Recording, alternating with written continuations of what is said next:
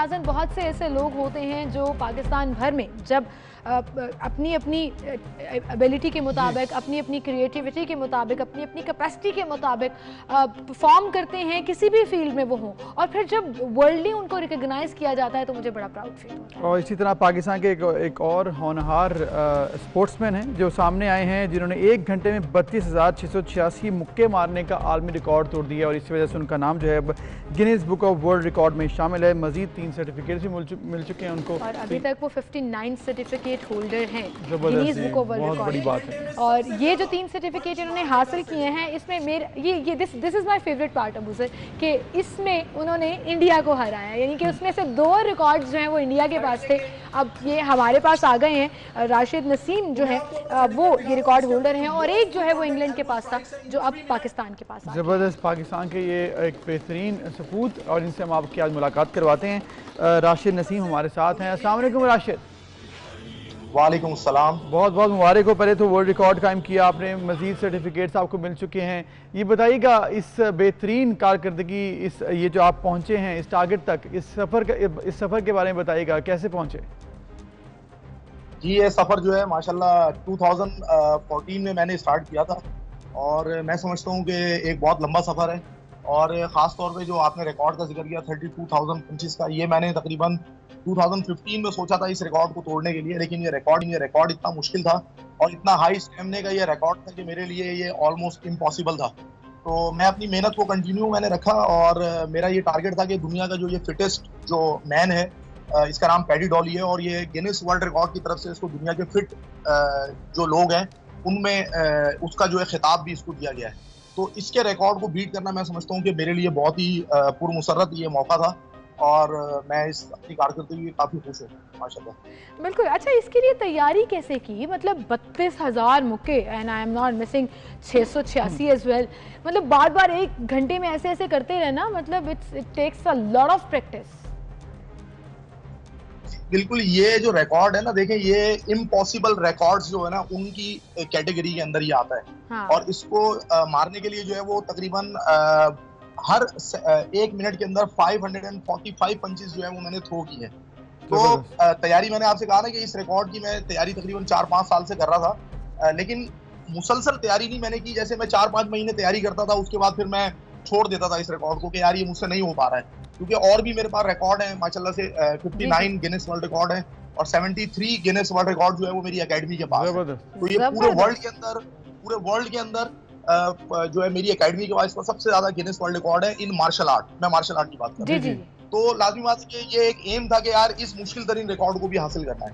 तो ट्रेनिंग जो है वो कर रहा था कुछ स्पेशल जो है वो डाइट प्लान के ऊपर फिर अमल किया और अलहमदुल्ला बस ये ज़बरदस्त ज़बरदस्त। तो राशिद ऑब्वियसली जब आपने अज़म किया और आपकी एकेडमी में आपने जब ये मेहनत की ट्रेनिंग की आपके साथ भी बहुत से लोग होते हैं जो आपको सपोर्ट करते हैं। ये बताइएगा कि ये जो आप मार्शल आर्ट्स करते हैं इसके बारे में आप कैसा देखते हैं? पाकिस्तान में स्कोप कैसा है? ऑब्वियसली आप तो इसमें बहुत ज़्यादा अचीवमेंट्स हासिल कर चुके हैं। ओवरऑल आपकी एकेडमी में कैसा लोगों के अंदर आता है जो आपके जूनियर्स हैं? इंथुजियाज़म कैसा है? देखिए जी अब पहले तो जो है मार्शल आर्ट की जो टेक्निक्स थी वो अवेलेबल जो है बहुत मुश्किल से हुआ करती थी। जब हम करते थे मुझे तकरीबन ट्वेंटी सिक्स ईयर्स हो गए मार्शल आर्ट से।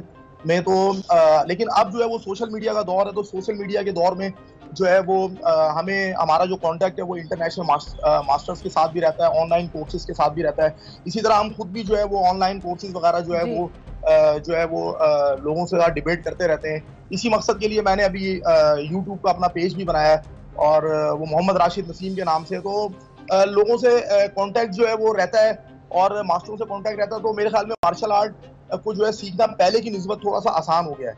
लेकिन एक यहाँ पे बात इंपॉर्टेंट है कि जो हमारी जो न्यू जनरेशन है इसमें थोड़ा सा जज्बा की मुझे कमी महसूस होती है कि जो हम्म। लड़के हमारे पास आते हैं अब मार्शल आर्ट सीखने के लिए उनमें उस उस कदर जज्बा नहीं होता था जब हमने साल पहले ये जज्बा इसलिए भी थोड़ा मान पड़ जाता है कि हमारे पास इनफ प्लेटफॉर्म्स नहीं है या एक गाइडिंग गाइडिंग ट्रैक नहीं है कि आपका फ्यूचर क्या होगा if you pursue in martial arts तो ये जो क्वेश्चन है ना ये कहीं ना कहीं कंफ्यूज कर देते हैं हमारी यूथ को।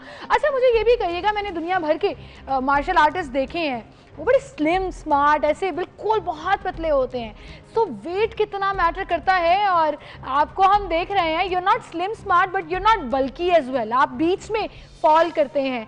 सो so, uh, ये कितना मैटर करता है ये स्पीड आपकी पूरी है। फास्ट जितना हमें होना चाहिए ना मुझे मतलब आपकी वीडियोस हम देख रहे हैं स्पीड तो है। कि ये कैसे मुमकिन है?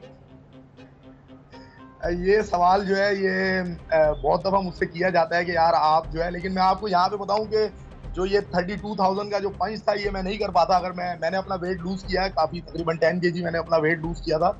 इसके हाँ। लिए तो आ, मेरी जो फिटनेस है मेरे वेट की वजह से मैंने कभी उसको आड़े नहीं आने दिया। ये बस एक अल्लाह ताला का खास करम है।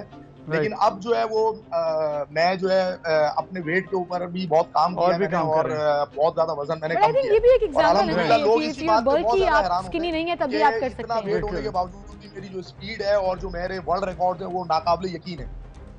Right right. राशिद ऑब्वियसली आपका जो अज़म है वो आपके वेट के आगे नहीं आ रहा। ऑब्वियसली वेट जो है बड़ा जबर आप उसको कंट्रोल भी कर रहे हैं उसको मजीद कम भी करेंगे। मजीद टारगेट्स क्या रखे हैं आपने? क्या करने हैं? कौन कौन से रिकॉर्ड और तोड़ने हैं? क्या क्या अचीवमेंट्स लेके आनी है? और पाकिस्तान का नाम कहाँ कहाँ पर रोशन करेंगे मजीद?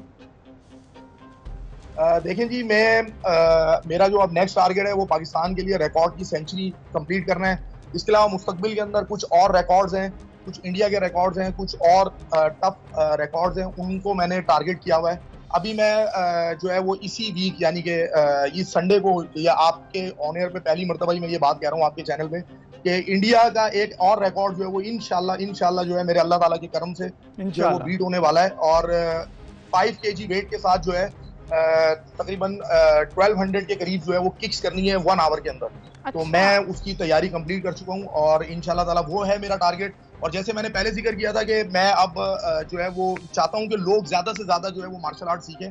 तो आ, मैं अपनी एकेडमी के अंदर मार्शल आर्ट सिखा रहा हूँ ऑनलाइन अपने पेज के ऊपर यूट्यूब पेज के ऊपर और अपने फेसबुक पेज के ऊपर भी जो है अपनी वीडियोस को अपलोड कर रहा हूँ। लर्निंग जो प्रोसेस है उसको बता रहा हूँ सिखा रहा हूँ। तो ताकि जो लोग हैं वो इसको सीखें। बिल्कुल सही। Rashid thank you so much for being with us and good luck I really hope कि आप भी सेंचुरी मुकम्मल ज़रूर करें। 59 तो हो गए हैं। अभी ये जो आप एक कह रहे हैं उसके बाद 60 हो जाएगा फिर सिर्फ़ 40 रह जाएँगे। तो मेरा नहीं ख्याल आपके लिए कोई बड़ी बात होगी। उन 40 सर्टिफिकेट्स को अचीव करना। Thank you so much for being with thank you और एक बेहतरीन परफॉर्मर हैं और जिस तरह से कह रहे हैं मुझे बस यही लगता है कि पाकिस्तान में थोड़ा सा अभी स्कोप अगर और मजीद हो जाए कुछ जो इकनॉमिकली लोगों को सपोर्ट इसमें किया जाए टैलेंट पाकिस्तान में और जिस तरह से राशिद अपनी अकेडमी में सिखा रहे हैं लोगों को फैसिलिटीज़ मिले तो मजीद इस तरह से लोग सामने आ सकते हैं।